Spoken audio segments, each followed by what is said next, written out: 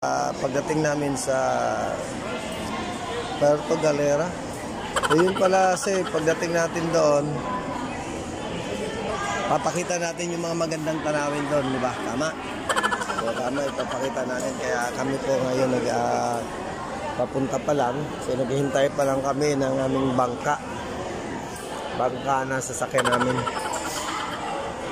Sabi raw nila,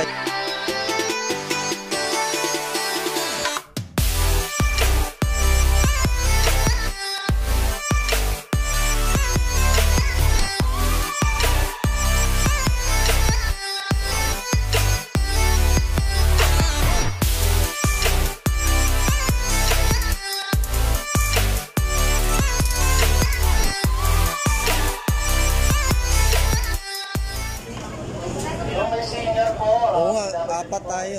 Okay, di pala nalagyan yan, pati sa akin, ma'am. Opo. Sir Jonas, Fernando po.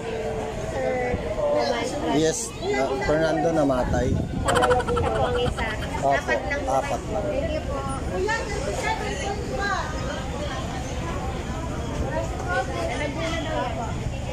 Ano ba, yun, bayad na? Oh, dyan. Bayad. Oo. May bayad pa? Oo. 120 each po. Magandang umaga po. May babayaran lang po. Ang bagong nasa users ko. Ito po ay ordinansa po ng ng Puerto. Galera po. Lahat po ng hindi taga po, taga Oriental Metro, magbabayad po ng 100, 120. Foreign po at saka local, local po. Hindi. Ita, ita, ito na ako ba yan? Italiano yan. Isa ka ma'am? Bawat isa sa oh, bayaran mo na lahat. May lahi ito, ma'am. Okay ba yan? Ano lahi mo? ah? Lahi yan eh. Kahit sa swimming natin, ganun din eh. Dito sa Bataan tayo. May shuttle kayo? May, wala. May ano kami. May, may sondo kami. May sundon po. Oh, may sondo.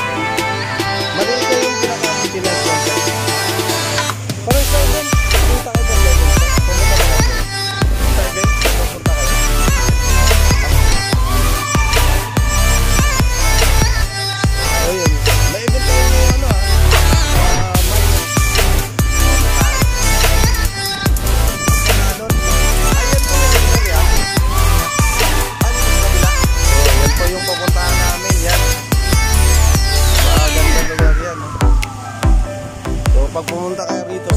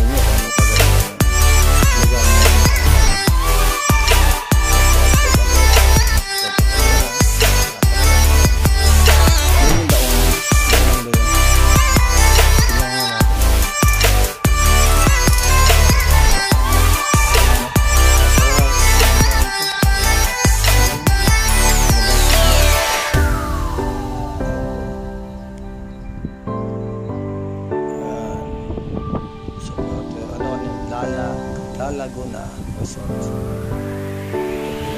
Isang Taas naman namin.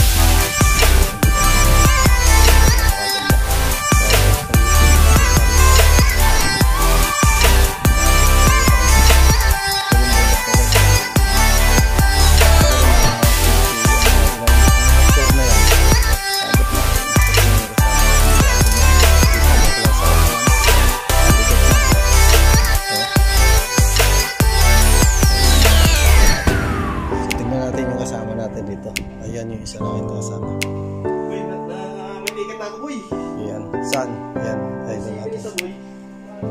Ayan ako yun. Saan? 1-7. Ah, Ruwas. Tawagan mo si Mago. ayan. Ito po ang kaganda nito sa...